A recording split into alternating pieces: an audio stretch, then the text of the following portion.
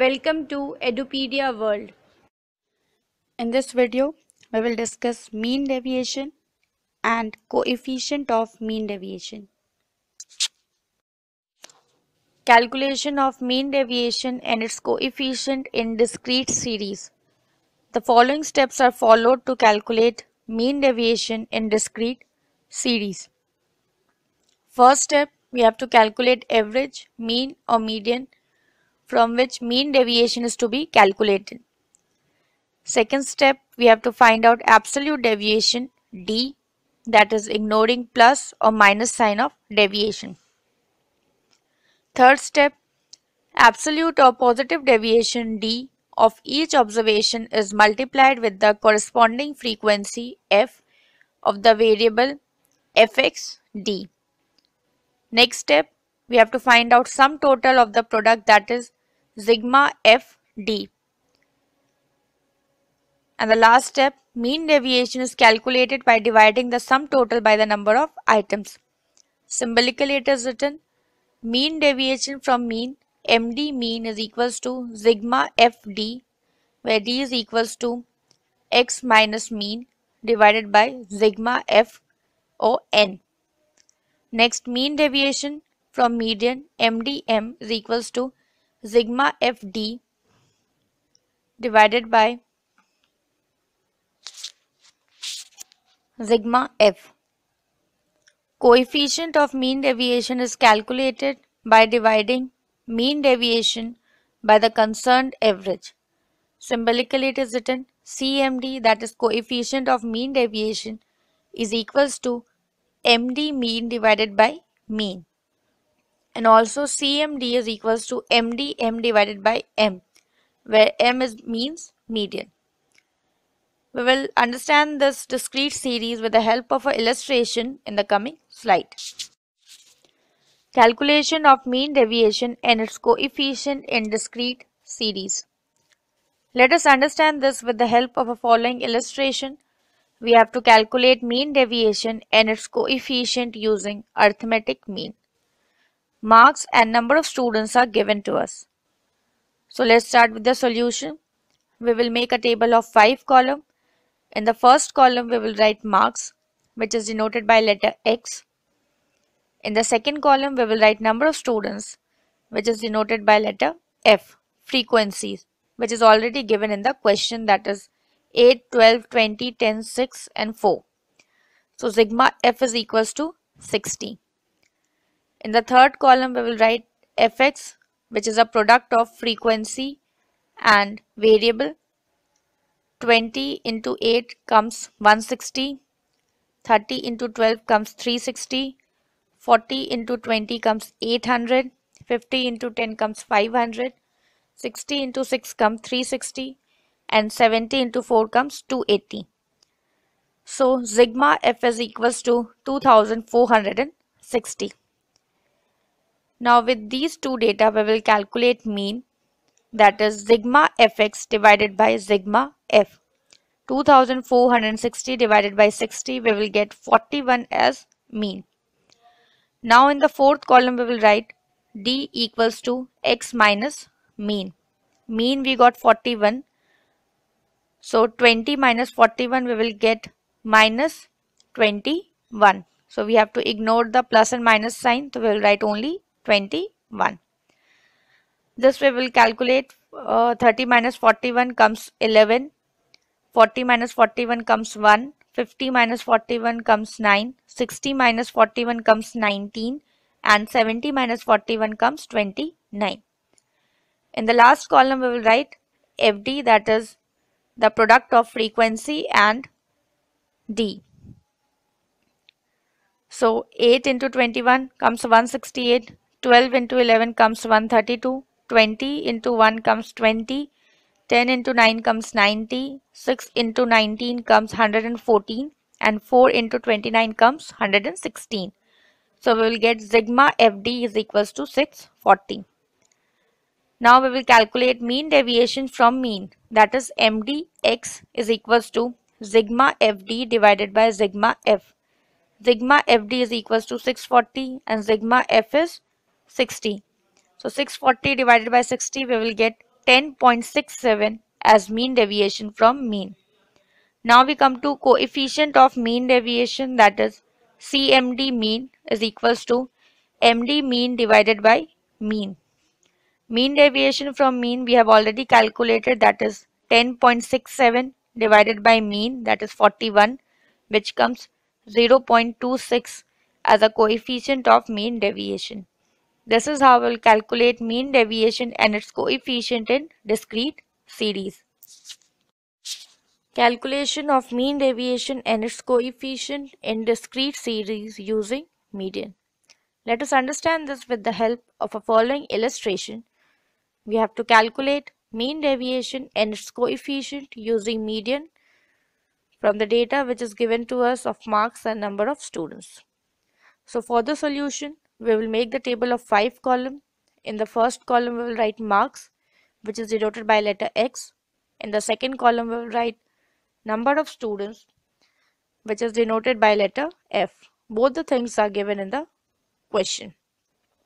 In the third column we will write cumulative frequency in which we will add up the frequency that is 2 then 2 plus 3 will get 5 after that 5 plus 4 will get 9 then 9 plus 5 we will get 14 and 14 plus 6 will get 20. So sigma f is equals to 20. Now we will calculate median that is median is equals to size of n plus 1 by 2 item. Here n is 20 so 20 plus 1 by 2 we will get 10.5. So 10.5 is coming under cumulative frequency 14. So median is 20. Now for the fourth column which is d is equals to x minus m. d is deviation, x is marks and m is median. So 5 minus 20 we will get 15, 10 minus 20 we will get 10, 15 minus 20 we will get 5, 20 minus 20 we will get 0 and 25 minus 20 we will get 5. Now for the last column that is FD frequency and deviation we will multiply the deviation with the frequency.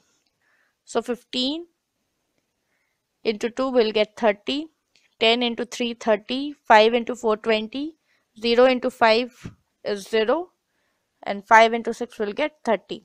So sigma FD is equals to 110. Now we'll calculate mean deviation from median is equals to sigma FD divided by sigma F which is 110 by 20 will get 5.5. Next coefficient of mean deviation that is CMDM is equals to MDM which we have calculated earlier that is 5.5 divided by M which is 20 we will get 0.27 as coefficient of mean deviation.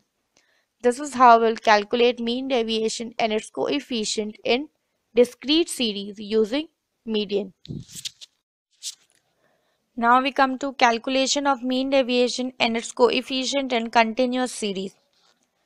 The steps to find out mean deviation will remain same as discussed earlier in discrete series with the following changes.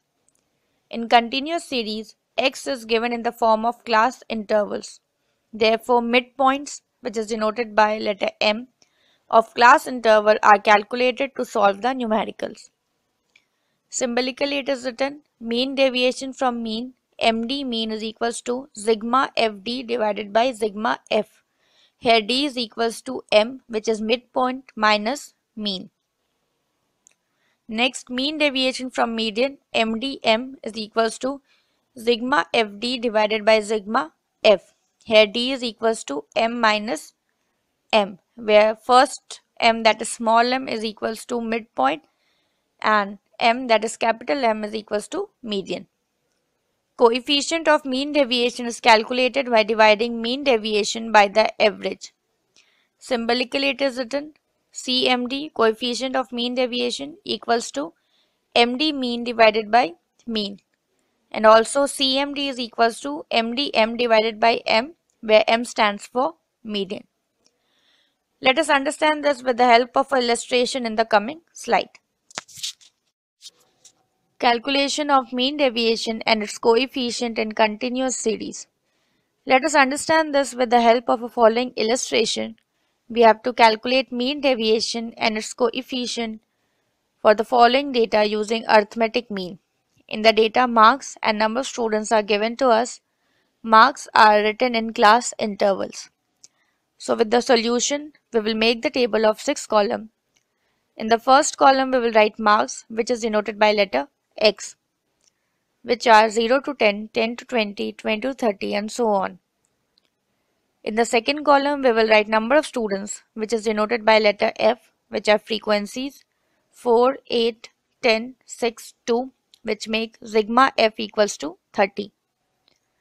In the third column, we will write midpoints which is denoted by small m. Midpoints of class interval that is 5 is the midpoint of 0 to 10, 15 is a midpoint of 10 to 20 and so on. In the fourth column we will write FM which is a product of frequency and midpoint. That is 20, 120, 250, 210 and 90 which gave sigma FM equals to 690. So we got sigma FM and sigma F. Now we'll calculate mean from it mean is equals to sigma fm divided by sigma f 690 divided by 30 we will got 23 as mean. Now in the fifth column that is d is equals to m minus mean where m is midpoint and x with a bar above it is a mean.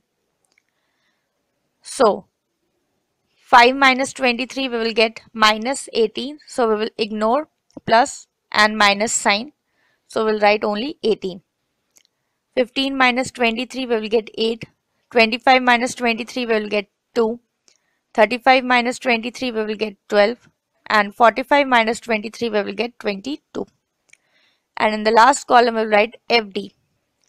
Product of frequency and D. So 4 into 18 we will get 72. 8 into 8 we will get 64. 10 into 2 we will get 20 6 into 12 we will get 72 and 2 into 22 we will get 44 which will make sigma fd equals to 272. Now we will calculate mean deviation from mean which is md mean equals to sigma fd divided by sigma f. Sigma fd is 272 divided by sigma f which is 30 we will get 9.07. Next we come to coefficient of mean deviation which is CMD mean equals to MD mean divided by mean. MD mean we have calculated earlier that is 9.07 divided by 23 we will get 0.39 as coefficient of mean deviation. This is how we'll calculate mean deviation and its coefficient in continuous series. Calculation of mean deviation and its coefficient in continuous series using median. Let us understand this with the help of a following illustration. In the illustration, the following data is given to us that is marks and number of students. So for the solution, we will make the table of 6 column. In the first column, we will write marks which is denoted by letter X which is already given in the question. In the second column, we will write number of students denoted by letter F it is also given in the question. In the third column, we will write CF that is cumulative frequency. We will add up the frequency that is 4. Then 4 plus 7 comes 11. 11 plus 8 comes 19. 19 plus 5 comes 24. And 24 plus 6 comes 30. Now we will calculate median that is size of n by 2 item. n is 30. So 30 by 2 comes size of 15th item. As you can see in the table that 15th item is lying in cumulative frequency 19. So class interval will be 10 to 15. Now we will apply the formula that is m is equals to L1 plus n by 2 minus CF whole divided by f into i where L1 is lower limit of class interval then uh, CF is cumulative frequency and f is frequency and i is class interval. We will put up the values and we will get 12.5 as median. Now come to the fourth column that is midpoints. So midpoint of class interval that is 0 to 5 is 2.5, 5 to 10 is 7.5, 10 to 15 is 12.5, 15 to 20 is 17.5 and 20 to 25 is 22.5. Now come to the fifth column that is deviation equals to small m minus capital M. Small m is midpoint and capital M is median. So 2.5 minus 12.5 we will get 10. 7.5 minus 12.5 will get 5. 12.5 minus 12.5 is 0. 17.5 minus 12.5 is 5. 22.5 minus 12.5 is 15. We have to ignore negative signs. And in the last column, we'll write frequency deviation. Means we'll multiply frequency and deviation.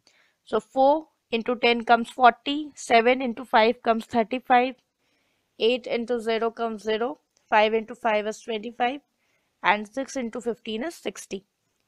After adding up, we will get sigma fd is equals to 160. Now we'll calculate mean deviation from median, which is mdm is equals to sigma fd by sigma f. Sigma fd is 160 and sigma f is 30. So 160 divided by 30 will get 5.33. Now come to coefficient of mean deviation that is CMDM is equals to MDM which we have calculated earlier that is 5.33 divided by M which is 12.5 comes 0.43. This is how we'll calculate mean deviation and its coefficient in continuous series using median. Next we come to merits and demerits of mean deviation. First, we will discuss merits of mean deviation. It is simple to calculate as it is based on averages, that is mean and median. Second merit, it is based on all the observation of the series. Mean deviation is a more comprehensive measure of dispersion compared to range and quartile deviation as it is based upon all items of the series. Next merit is it is not too much affected by extreme values as compared to standard deviation. And the last merit is it can be calculated by using an average that is mean or median or mode. These are some of the merits of mean deviation. Next we come to demerits of mean deviation. First is, it is not rigidly defined as the deviation can be taken from any measure of central tendency accordingly. Mean deviation calculated from different averages will be different. Next demerit is it cannot be used for algebraic treatment because it ignores plus and minus signs of deviation. Next point, if average is in fraction, then it becomes a complex procedure to find deviations. And the last demerit is as compared to standard deviation, it has less sampling stability. These are some of the demerits of mean deviations. Thank you for watching Edupedia World videos.